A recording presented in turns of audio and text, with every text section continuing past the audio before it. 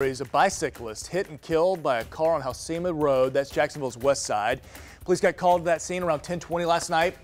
The man on the bike died right there at the scene, we're told, and it is unclear what caused that collision, but we're told the driver is cooperating with the investigation this morning.